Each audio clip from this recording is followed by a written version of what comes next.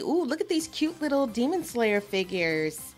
Oh, they're both really cute. I think I'm going to play for this Tanjiro.